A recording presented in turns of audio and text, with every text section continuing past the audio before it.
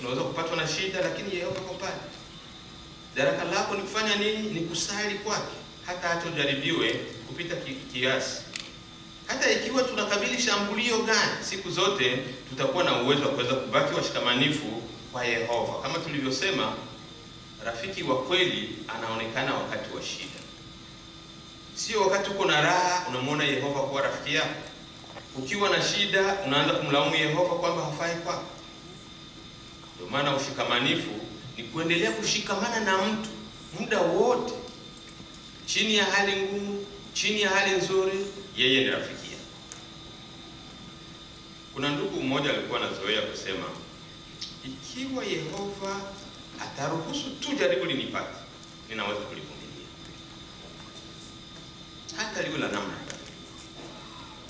Kwa hiyo ni wazi kwamba Ayubu alifanya hivyo, lakini Ayubu aliendeleaje kuwa mshikamanifu licha ya mashambulizi ya shetani? Hata mateso ya Ayubu alikabili hayakuweza kumfanya avunje utimilifu wake kwa Mungu. Kwa sababu gani? Alitoa azimio la pekee. Naye alisema nini? Alisema kwamba atashikamana na Yehova chini ya hali zote, na maamuzi yake yanapatikana katika kitabu cha Ayubu. Tafadhali tuchungue Biblia zetu tusome pamoja kitabu cha Ayubu sura ya 27. Ayubu sura ya 27, wakati huu tutasoma mstari wa tano. Ayubu sura ya 27 tutasoma mstari wa tano. Tutakaposoma andiko hili tutaona maono ya au mawazo ya Ayubu chini ya mikazo iliyompata. Mstari wa tano tunasoma, ni jambo lisilowaziwa kwangu kwamba niwatangaze ninyi kuwa waadilifu mpaka nitakapokufa, nitapokata pumzi, sitajiondolea utimilifu wangu. Ayubu anasema wazi, mpaka nitakapokufa sitajiondolea utimilifu. Lakini kumbuka, hakujua kwamba kulikuwa mabishano kati yake Yehova na Shetani, hakujua na angedanganyika tu kidogo, Yehova angeaibika sana. Shetani angemwambia si mpige ugonjwa utaona, sunamu amekukana. Lakini ameazimia kwamba hata mpaka nitakufa siwezi kuasi. Je, ndugu wema madada, kuna maoni kama ya Ayubu kuendelea kuwa mwaminifu au mshikamanifu kwa Yehova mpaka utakapokufa? Au ukiambiwa kwamba unataka kufa utaasi na kusema ah, afadhali nitafute njia zozote za kupona mradi niendelee kuishi? Kumbuka mfano wa Ayubu na utende kulingana na mambo haya. Ayubu hakujua kwamba Yehova angeliweza kumponya, na ndio maana alisema mpaka nitakapokufa. Ingawa huenda Ayubu alifikiri kwamba anakaribia kufa, hakukata tamaa na hakuvunjika moyo na hakujiachisha na Yehova hata kidogo.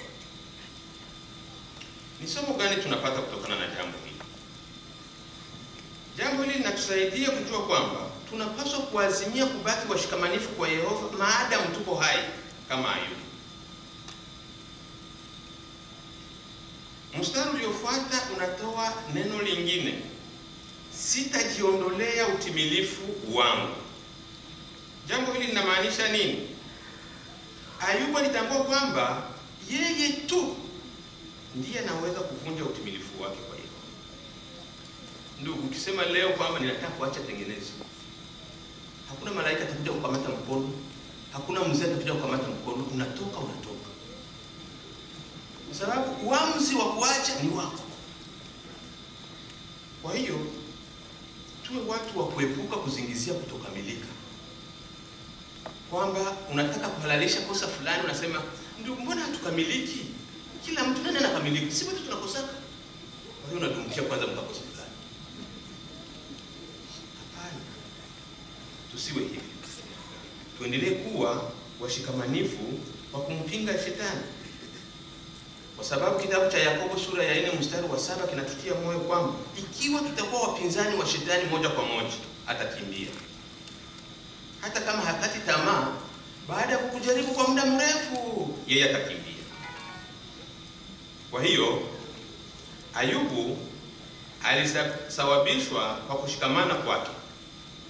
Ni kweli kwamba ushikamanifu wa Ayubu uliweza kusawabishwa kwa sababu aliweza kuongezewa wanyama wengi, aliweza kuongezewa watoto wengine kumi, wakawa watoto ishirini, na yeye aliongezewa tena miaka mia arobaini baada ya yale mambo yote kutokea. Kwa hiyo akaona wajukuu na wajukuu na watoto wa wajukuu, kama mwenye kufurahi.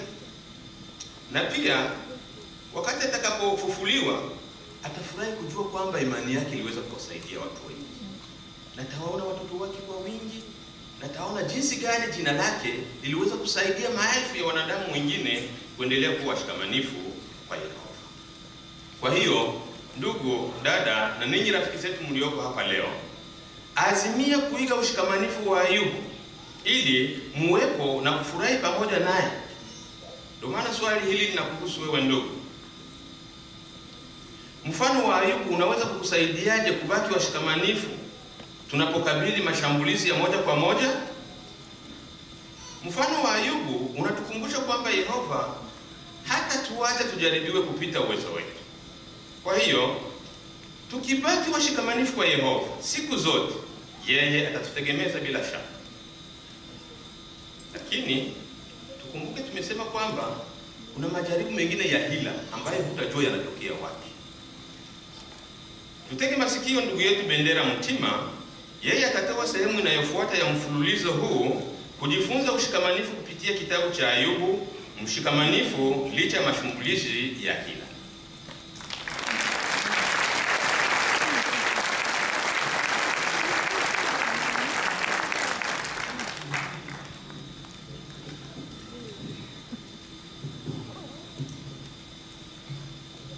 Mshikamanifu licha ya mashambulizi ya hila. Kuna usemi mmoja katika Afrika ya Kati unasema hivi, ikiungu unombele. Usemi huu unataka kumaanisha hivi, ukiwa na ndugu yako mjini, wewe utakuwa umefanikiwa, atakusaidia, atakufafanulia, atakurekebisha, atakuongoza, atakwambia mjini kuna matapeli katika nchi hiyo ya, Afrika ya Kati inaitwa West Crojanti. Walioishi Rwanda, Burundi wanasema wa, wajanja. Katika maeneo za Tanzania asema waswahili swahili hawa. Huyo ni nani? Tapeli. Na sisi navyo tuko na tapeli wa kiroho, shetani anatumia mashambulizi ya hila kama escrojanti, kama tapeli. Si vigumu kutambua kwamba mashambulizi ya moja kwa moja kama vile upinzani, mateso ni majaribu ya ushikamanifu, si vigumu, lakini unahitaji utambuzi ili uone mashambulizi ya hili ya shetani na jinsi yanavyoweza kuasiri ushikamanifu wetu kwa Yehova. Yehova Mungu anataka kutufunulia tapeli ambao ni shetani ibilisi.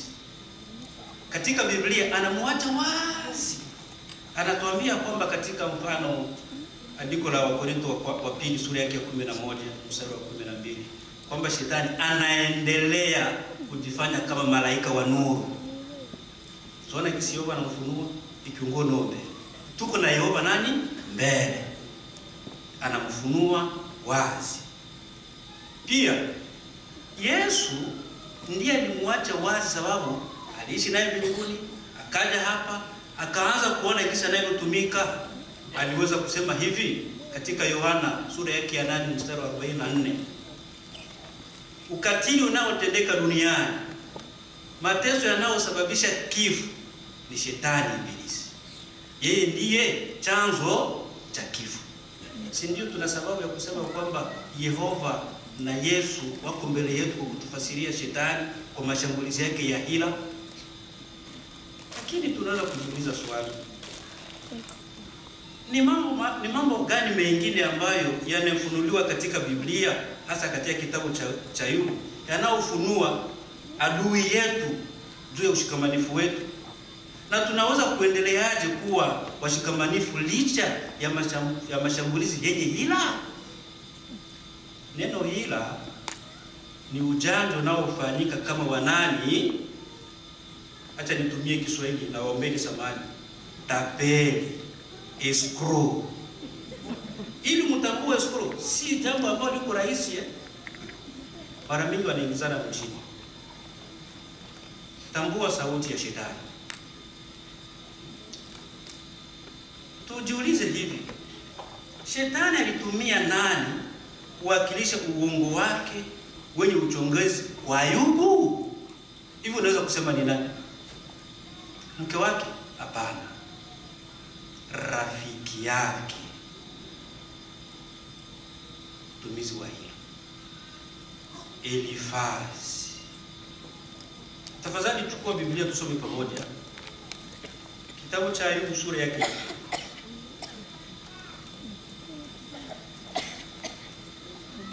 Ayubu sura yake ya pili.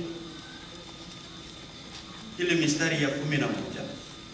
Tuone gisi rafiki zake walivyokuwa. Mistari ya kumi na moja tunasoma maneno yafuatayo: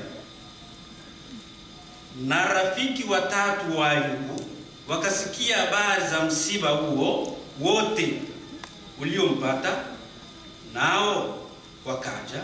Kila mmoja kutoka mahali pake, Elifazi Mtenani na Bildadi Shua na Sofari na Mati. Kwa hiyo wakakutana kwa mapatano ili waje kumsikitikia na kumfariji. Hata tukazie uangalifu wetu kwa ajili ya Elifazi. Sinjua alianza kutajwa katika Biblia. Elifazi huyu kwa kuwa shetani alishindwa na mashambulizi ya moja kwa moja, anataka sasa kutumia mashambulizi ya nani?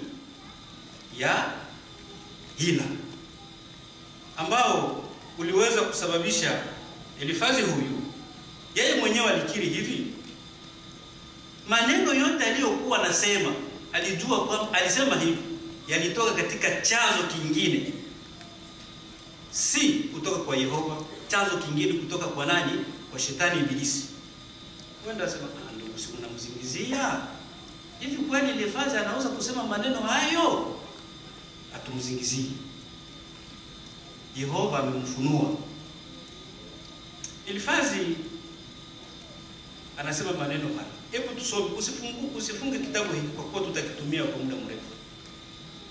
Tafadhali tusome Ayubu sura yake ya nne ile mistari ya kumi na tano na kumi na sita kama uko pale, tunasoma maneno yafuatayo. Tuone ya Elifazi alivyokiri. Na roho fulani ikapita juu ya uso wangu wangu nani? Elifazi. Nywele za mwili wangu zikaanza kusimama, ikaanza ikaanza kus, nikaanza kusimama tuli, lakini sikuitambua sura yake. Umbo fulani ulikuwa mbele ya macho yangu, kulikuwa na utulivu, na sasa nikasikia sauti. Bwana Elifazi anasema roho fulani, hii roho fulani ambayo alisikia alikuwa ni nani? Alikuwa ni shetani Ibilisi.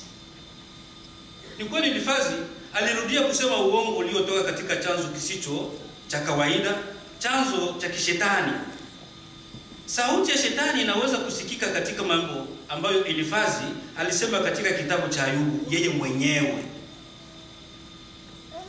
kwa maneno kama hivi kweli, ndio Elifazi rafiki wa Ayubu. Hivi kweli Mungu anaweza kuhesabia mtu kuwa mwadilifu? Eh, Ayubu, mbona unaanza kujihesabia mwadilifu mwenyewe kwenye macho yako? Hebu tusome katika kitabu cha Ayubu jinsi alivyotumia maneno haya. Tafadhali tusome pamoja. Hapa tutaona maneno ambayo anatumia katika andiko la Ayubu sura ya 22 mstari wa wa tatu na wa.